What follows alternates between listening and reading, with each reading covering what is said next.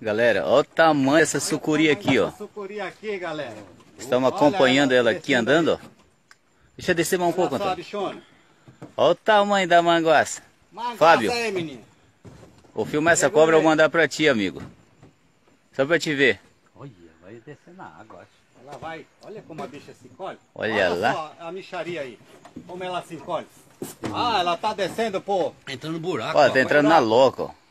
Que vai que é sair- isso? Vai sair aqui embaixo. Aproximadamente aí uns 9 metros de comprimento. Com certeza. Olha lá, bichona. Maria. Olha, Olha lá. só essa coisa imensa de de, grande aí.